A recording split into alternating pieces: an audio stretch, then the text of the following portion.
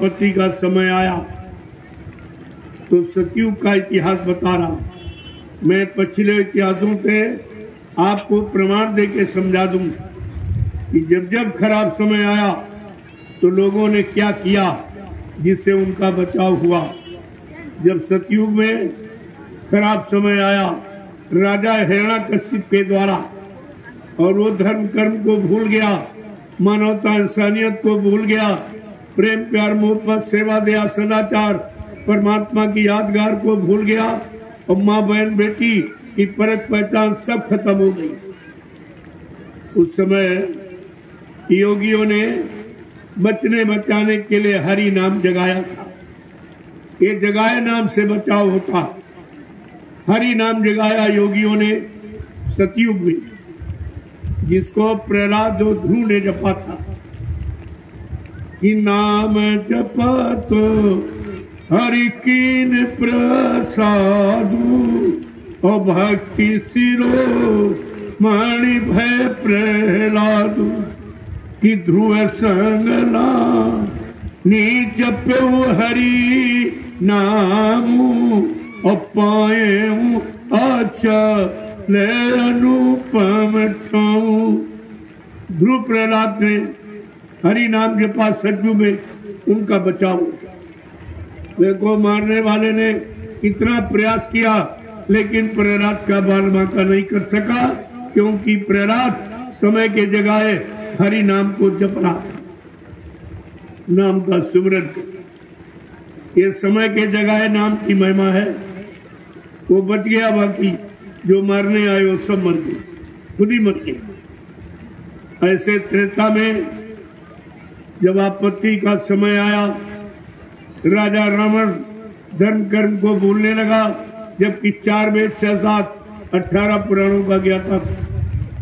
उत्तम कुल पुलस्त कर नाती, शिव बिरंच पूजे वो भांति। इतना कुलीन ब्राह्मण पुलस्त ऋषि के परिवार का जिसने अपनी अखंड आराधना साधना से ब्रह्मा विष्णु महादेव को अपने बस में कर लिया लेकिन समय के जगाए नाम की महिमा को भूल गया। नहीं जान पाया हरि, जो राम नाम ऋषि मुनियों ने जगाया था, उसको भूल गया। उसमें शंका आ गई कि ये राम नाम, ये भगवान का नाम नहीं, ये राम भी भगवान नहीं। इसी शंका में सोने की लंका चली गई और उसका विनाश हो गया। ऐसे विनाश होता है जो समय के जगाए नाम को नहीं जानता, नहीं पहचानता और नहीं शरण में जा पाता, उसके अनुकूल नहीं चल पाता है तो उसका विनाश हो जाता इसी तरह प्रेमियों, द्वापर का इतिहास कह रहा कि राजा कंस के द्वारा जब धर्म कर्म खत्म होने लगा, मानवता इंसानियत चली गई और वो भी भगवान के जो जगाया गया कृष्ण नाम था, उसको नहीं माना। भगवान कृष्ण ने बहुत समझाया कि मामा जी, यही भगवान का सच्चा नाम है। आप इस नाम को लो, तुम्हारा भी बचाओ कल्याण हो जाए। तो कहता, अरे जा जा तू जात का ग्वाला है, गाय चराने वाला, माखन का चोर। तेरी बात मान लूँगा तो भगवान बन गया। नहीं समझ में आया, नहीं पहचान पाया, शंका में उसका भी विनाश हो गया। ये तीन युगों का इतिहास आपको समझाना पिछले इतिहासों को जो जान लेता है, समझ लेता है, वो अपना वर्तमान बना लेता ये इतिहास की महिमा है। तुम्हारे सामने तो तीन तीन युगों का इतिहास हमारे दृष्टि से, हमारे विचारों से तो कलयुग का ये इंसान सबसे अच्छा होना चाहिए, क्योंकि तुम्हारे सामने सतयुग का द्वापर त्रेता का इतिहास है। अच्छे युग का, अच्छी उम्र वालों का, अच्छे खान पान अच्छे कर्म करने वालों का। लेकिन अफसोस के साथ कहना पड़ रहा कि कलयुग का इंसान सबसे ज़्यादा खराब। इससे मालूम देता है कि कलयुग के इंसान ने किसी युग की अच्छी, नेक, भली बात को नहीं माना।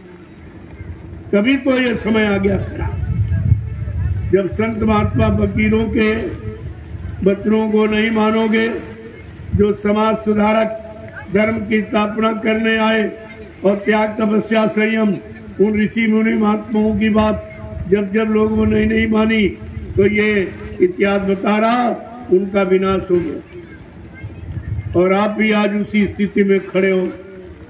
आपको भी समय का जय गुरुदेव नाम। जगाया हुआ आपको जगाने के लिए आया है, बचाने के लिए आया है। सब तरफ़ से तुम्हारी सुरक्षा इमदाद सहयोग करने के लिए आया। अगर अन्य युगों की बात तुम भी समय के जगाए नाम को नहीं समझ पाओगे, नहीं मान पाओगे, नहीं चेत पाओगे, नहीं जाग पाओगे, अपना सुधार नहीं कर पाओगे तो तुम्हारा भी विनाश एकदम निश्चित इसे कोई काट नहीं सकता। तो आपको तो बचने बचाने का समय मिल गया। पिछले इतिहासों की जानकारी भी दे दी गई। आप ये भी नहीं कर सकते कि हमें मालूम नहीं था कि जगाए नाम की क्या महिमा है, जगाया नाम क्या काम करता है, कहाँ तक काम करता है, कितना भला और कल्याण और लाभ देता है, ये सब जानकारी मैंने आपको दी। आज मुसीबत का वक्त। चारों तरफ़ हाहाकार, त्राईमाम को राम मचा हुआ है। मार काट हिंसा, चोरी, कतले, आम बेचार कुचार झूठ, छल, कपट, बेईमानी के सिवा और कोई आवाज़ नहीं आ रही। ऐसे खराब समय में आपने अपने बचाने बचने बचाने का कोई सामान सोचा है? कोई युक्ति सोची, कोई सामान इकट्ठा किया? कुछ इसलिए आपको समय से जानकारी दी जा रही। ये समय का जय गुरुदेव नाम प्रभु का, परमात्मा का ये तुम्हें बचाने के लिए संत महात्माओं ने कलयुग के जीवों को बचाने के लिए ये नाम जगाया और कहा, ये प्रभु का नाम है। ये वो नाम और किसी ऋषि मुनि महात्मा का नहीं है, ये प्रभु का नाम और ये सारी सत्ता जो मृत लोग से लेकर और जितने बीच के लोग मंडल मुकाम और सबसे ऊपर सतलोक अलग अगम और अनाम ये सब प्रभु की सत्ता। जब वो सत्ताधारी प्रभु स्वतः मानव चोला धारण करके आज लोक मंडल पर आ गया तो उसके काम को कौन रोक सकता है? उसे काम करने से उसे जीवों को बचाने से कौन रोक सकता? ये आपको विचार करना चाहिए इसीलिए समय से वो प्रभु आकर प्रभु नाम जगाया प्रभु नाम सिद्ध किया, प्रभु नाम का प्रचार कराया, प्रभु नाम से जीवात्माओं को जगाया, और प्रभु नाम का बेड़ा बहुत सागर में लगाकर और सब जीवात्माओं को प्रभु धाम पहुँचाने का वादा कर रहा है। ये कितना बड़ा वादा है जो सृष्टि में किसी ने नहीं किया। न सत्यु के हरि नाम ने न त्रेता के राम नाम ने, न द्वापर के कृष्ण नाम ने। ये वादा किसी ने नहीं किया। ऐसा वादा ये गुरुदेव प्रभु नाम था। और आपको अवसर मिल गया, आप लाभ उठा दीजिए। अगर ये भी अवसर तुम्हारे हाथ से निकल गया तो फिर तुम्हें रोना पड़ेगा। आँसू बहाना पड़ेगा, फिर भी आँसू बहाने से कोई काम नहीं बनेगा।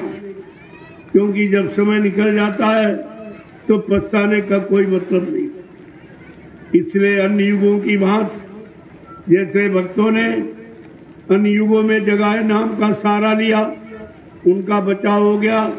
ऐसे हम सब लोगों को अपने बचाने के लिए जय गुरुदेव नाम का सहारा लेना चाहिए।